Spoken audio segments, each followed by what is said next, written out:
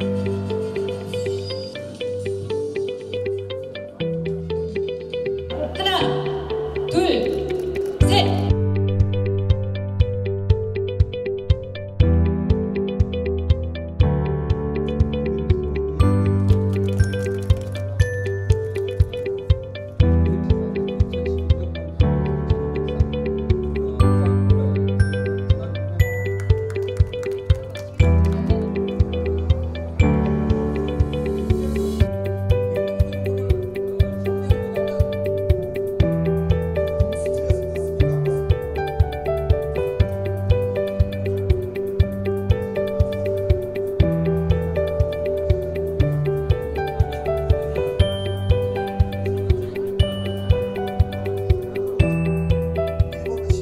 백세 시대는 앞으로 올 미래가 아니라 이미 와 있는 현실입니다.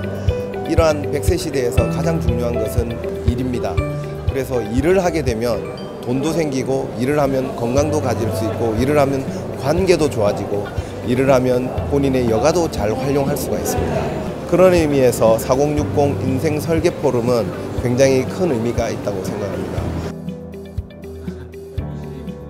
많은 분들이 이런 정보들과 강의들을 통해서 조금 더 조- 유익하고 좋은 기회를 빨리 찾으시지 않을, 않을까 생각을 합니다. 좋은 기회가 되셨으면 좋겠습니다.